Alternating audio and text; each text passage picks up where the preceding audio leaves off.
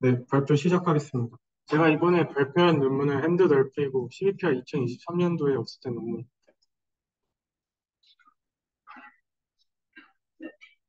먼저 이 논문에서 네, 이 논문에서 하려는 게 이제 novel view를 synthesize하는 건데 클래식한 hand modeling work는 이제 MANO같이 parameterize된 mesh 모델을 기반으로 합니다. 근데 MANO는 이제 일정한 resolution을 가지고 있어서 high frequency detail은 이제 low resolution인 mesh로 표현하기 어렵고 이로 인해 이제 realistic한 이미지를 생성하기 어렵다고 합니다. 이 논문에서는 이제 interacting hands의 geometry랑 texture를 통합적으로 모델링하는 HandNeRF를 제안하였습니다. 이 논문의 contribution은 다음과 같이 세 가지입니다. 먼저 deformable neural radiance field로 photo realistic한 interacting hands를 모델링하는 framework를 제안하였고요. 그리고 interacting hands를 train하는 데 사용되는 이제 몇 가지 모듈들을 추가적으로 제시하였습니다. 그리고 마지막으로 인터핸드 2.6M 데이터셋에서 베이스라인보다 더 좋은 성능을 보여주었습니다. 전체적인 framework는 다음과 같습니다.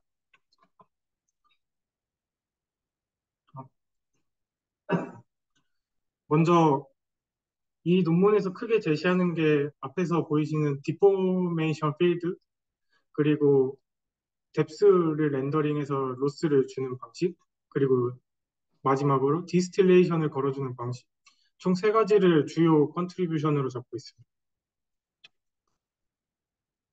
그리고 이 논문에서 사용하는 NeRF base, baseline NeRF를 Mip NeRF라고 다른 NeRF를 사용하였는데 이 Mip 기존의 NeRF는 하나의 object에 대해서 카메라의 거리가 일정하게 다 일정한 거리만큼 떨어져 있어야 하는 문제점을 가지고 있는데 이 Mip NeRF라는 것은 이 ray를 일직선상으로 두는 것이 아닌 다음과 같이 원뿔 형태로 두어서 이 직경 그 원뿔의 단면인 이 직경 하나가 한 픽셀에 projection 되도록 하는 방법론을 제안한 논문이었습니다.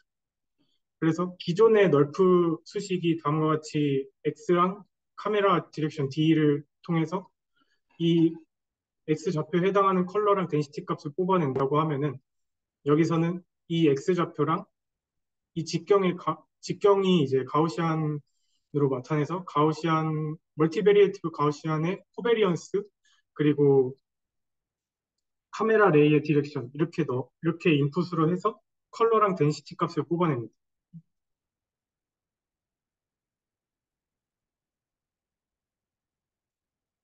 그거를 이제 수식으로 표현하면은 다음과 같이 진행됩니다. 여기서 X랑 covariance matrix를 이제 IPE, anti-aliased integrated positional encoding이라고 하는데 제가 Mip-NeRF는 상세하게 보지 못해서 이 부분은 나중에 다시 한번 찾아서 말씀드리도록 하겠습니다. 그래서 이, 이를 X랑 covariance matrix를 positional encoding을 해서 MLP를 통해 density를 뽑고 그리고 이 여기서는 camera ray랑 해당하는 density 그리고 이 LC가 프레임마다의 latent code라고 합니다. 이를 통해서 컬러 값을 뽑아냅니다. 그래서 우선 제일 처음으로 하는 deformation field에 대해 설명드리겠습니다. 이제 deformation field가 하는 역할이 임의의 hand pose가 주어졌을 때 deformation field는 이제 observation space에서 canonical space로의 mapping을 학습시킵니다. 여기서는 deformation field를 하기 위해서 여기 MANO 세팅을 따랐는데 다음과 같이 observation space에서 그 t는 여기서 rigid transformation 의미하고 이거는 blending weight를 의미합니다. 따라서 observation space에서 canonical space로 변환하는 과정을 거치게 됩니다. deformation field는 다음과 같이 좀 상세하게 되어 있는데요. 여기서 이제 어, linear blending 하는 거랑 이제 parameterization model 이게 interpolation의 문제도 있고 이 parameterized model 그 자체로 인해 생기는 error를 막기 위해서 포지, pose conditioned error correction network를 추가로 사용하였다고 합니다. 이게 바로 여기 error correction network인데요. 이거는 단순히 그냥 MLP로 구성되어 있는 것 같습니다. 자세하게는 나와 있지 않았어요. 그리고 이제 MANO left랑 right hand의 이제 pose parameter랑 canonical pose가 다르기 때문에 left랑 right를 align 시키는 hand mapping module 이 프사이를 사용하였다고 합니다. 그래서 이 모듈 그림이 다음과 같이 수식으로 표현되는데 이 수식이랑 이 모듈이랑 맞지가 않아서 어디 이게 잘못된 건지 이게 잘못된 건지는 아직 확인을 잘 못해, 못하였습니다.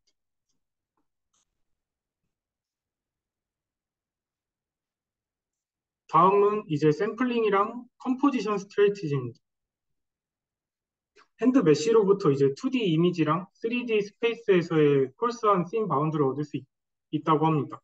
이게 무슨 말이냐면은 2D 이미지에서는 이제 mesh를 렌더링 했을 때 이 mesh 부분을 foreground mask로 사용하여 이 mesh에 해당하는 픽셀을 픽셀에 해당하는 ray를 샘플링 할 수 있도록 guidance가 됩니다.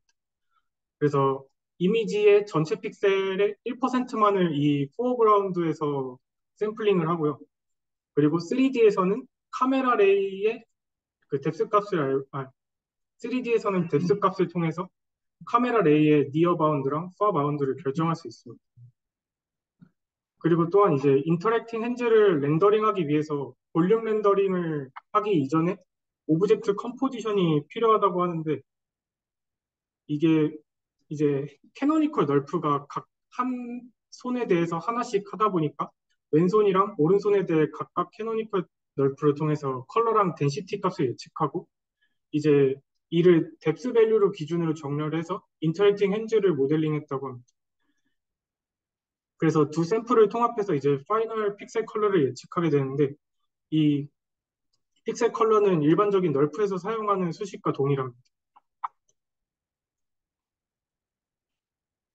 다음은 depth guided density optimization module입니다. 이제 conventional NeRF가 이제 training view가 충분하지 않을 때 overfitting이 발생한다고 합니다. 그리고 interacting하는 hand에 대한 composition strategy 앞에서 말씀드렸던 이 아랫부분 왼손이랑 오른손을 합치는 strategy를 말합니다. 이는 이제 상대적으로 정확한 geometry prediction 없이는 좋은 성능을 내지 못한다고 합니다. 그래서 이 논문에서는 2D depth supervised on the optimization of 3D density 이 depth loss를 제안하였는데요. 이 depth loss는 SLL이 이제 smooth L1 loss를 의미합니다. 그래서 GT 뎁, GT depth랑 그 예측한 depth의 차이 smooth L1 loss를 걸어주는 건데 이 예측한 depth는 다음과 같은 수식으로 표현됩니다.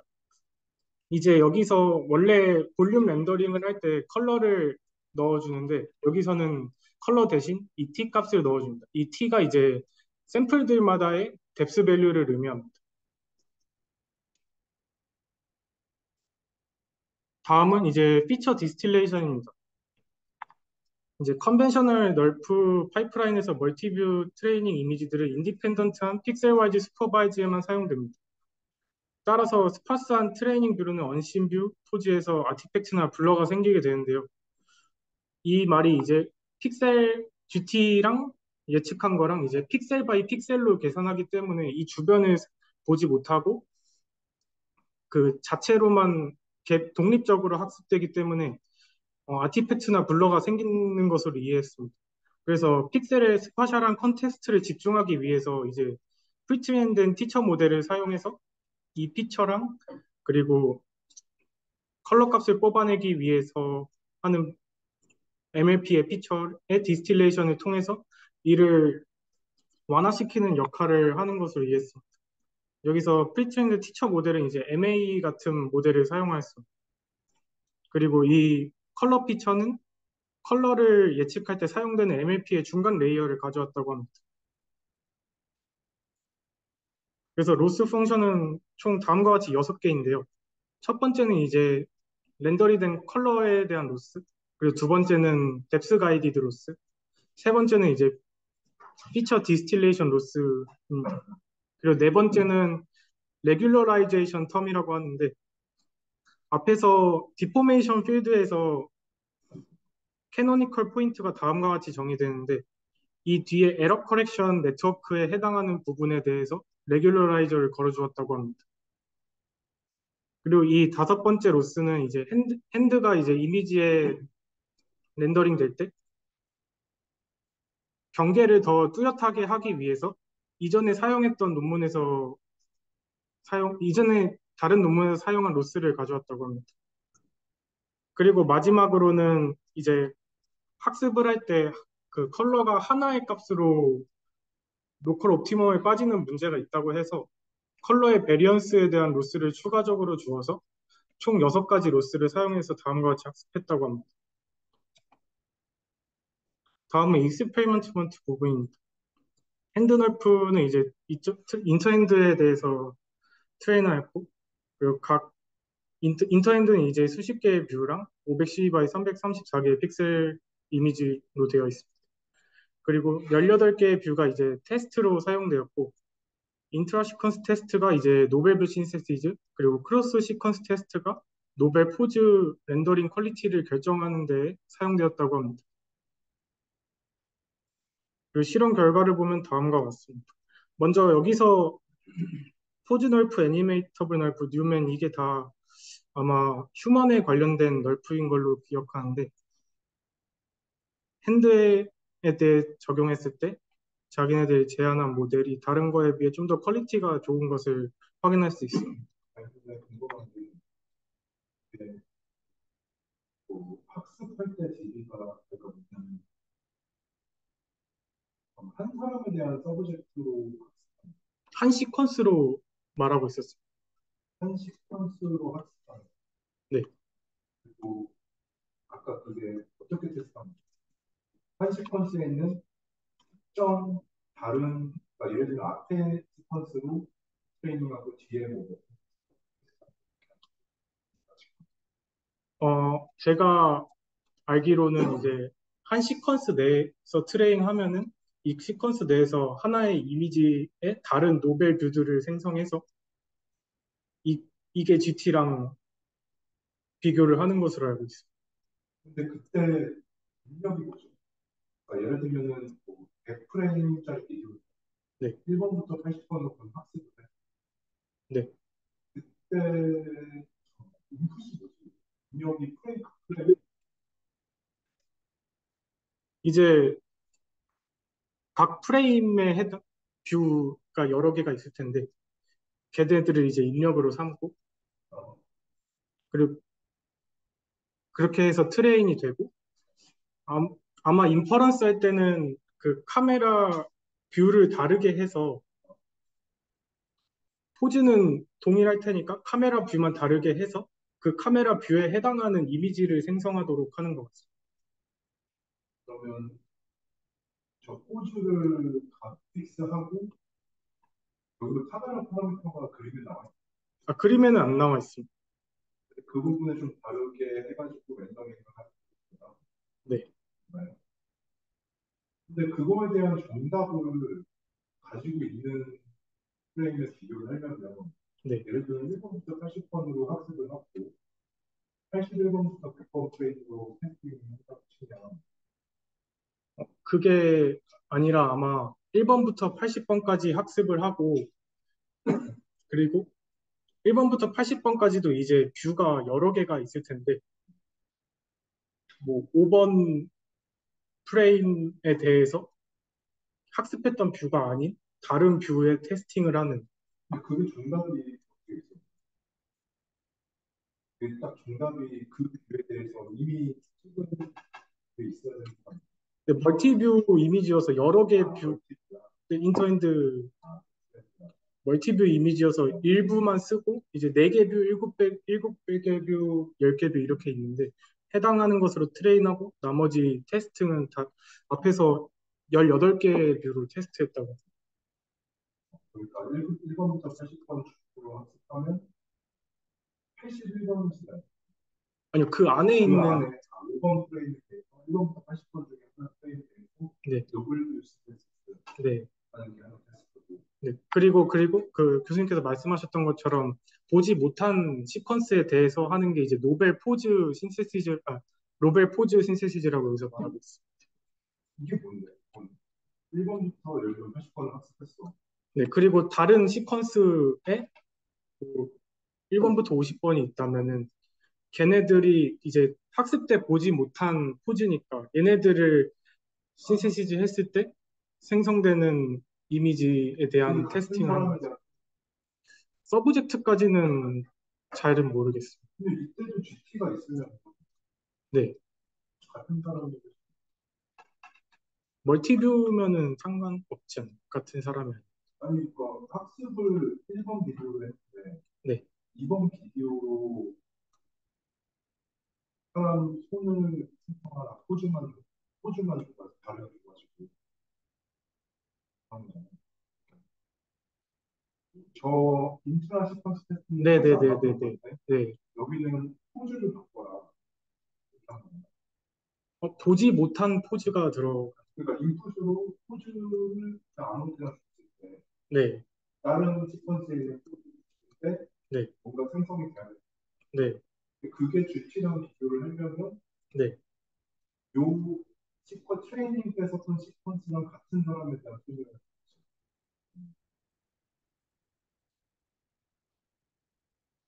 동일한 서브젝트인지는 아니면은 아니라면은 사람 뭐 지연 손으로 학습을 했어. 네. 그다음에 효성 손에 있는 뭐 5번 프레임에 있는 포즈를 줘. 네. 그러면은 지연이 손으로 5번 프레임 포즈를 만들 거야. 아. 근데 우리가 가지고 있는 정답은 효성 손의 5번 프레임. 네. 그럼 또 어떻게 되죠? 정답은 네. 왠지 교수님 말씀이 맞을 것 같습니다.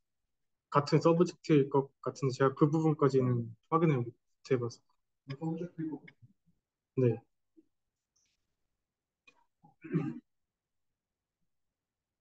네, 계속 진행할게요. 근데 그때도 novel view로 네? novel view cross sequence novel view 네네. 하면서 포즈도 바뀌고 포즈를 바꾼다는 게, novel view, 자, 전장 이게 포즈 원신 포즈에다가 아, 얘는, cross sequence 얘는 cross sequence는 아니에요. 아, 아니 전장 세팅이 그러니까 내 말은 cross sequence가 네. novel view도 하는 거야. 네네네. 아, novel view도 하고 포즈도 네네. 아, 아, cross sequence는 novel pose에 대해서만 합니다. 근데 약간 좀 이상한 거는 포즈를 절대 매치를 준다. 절대 위치요. 절대 매치를 준다. 왜냐면 아니 지연이가 저기서 찍었어. 후성이가 찍었어. 같은 포즈지만 뭔가 아니면 지연이 거로만 한다고 치고 지연이가 한 번 찍었어. 지연이가 두 번째 찍었어. 1번으로 학습하고 두 번째 찍은 비디오로 테스팅을 한다. 그때 포즈를 절대적인 위치로 다 줘야 된다. 어, 각도, 손의 관절의 각도만 주는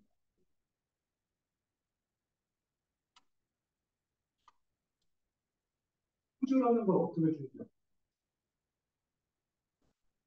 거기 포즈, 저게 절대적인 위치를 다 준다. 만호 파라미터, 파라미터. 그러면은 지영이가 이렇게 이렇게 꾹꾹 손을 찍었어. 비디오에서 이렇게 찍었어. 네. 근데 이거는 두 번째 비디오 때 이렇게 찍었어. 포즈는 똑같은데 위아래로 이렇게 하고 이렇게 하는 거로 찍었어. 포즈는 똑같잖아. 네. 근데 생성되는 영상은 다르고 네. 포즈만 가져가는 그 절, 절대적인 위치를 이렇게 움직이는 이 기준을 잘 줘야 되는 거 아니야? 맞는 것 같습니다. 아, 네. 그렇죠. 글로벌 글로벌 16개여서. 아, 많은 파라미터만으로 사실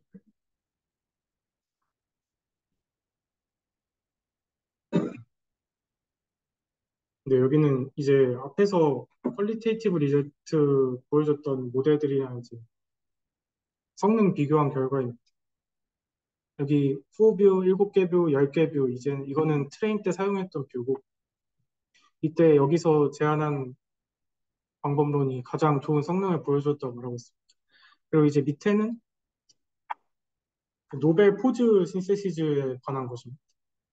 여기 single han- single hand 화살표, single hand 이렇게 있는데 single hand에서 train하고 이제 single hand에서 테스트 이런 것을 의미합니다. 이때도 ours가 가장 높은 성능을 보여줬다고 하고 있습니다.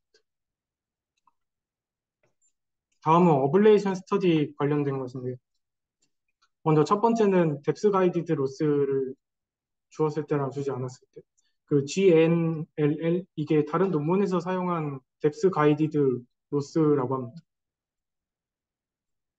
그래서 depth guided loss를 주었을 때가 가장 성능이 좋았고 그리고 distillation에 관한 성능이랑 그리고 volume rendering 할 때 다른 neural renderer를 사용하는 방법론들이 이전에 있다고 하는데 그 부분까지는 저는 이전 논문들을 읽어봐서 잘은 모르겠습니다.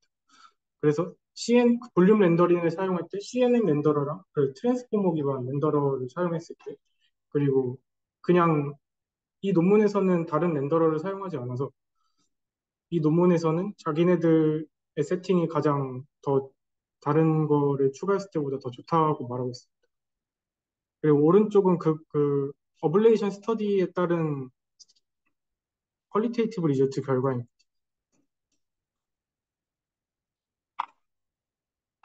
네, 여기까지 발표 마치겠습니다. 하나의 서브젝트에서 만나는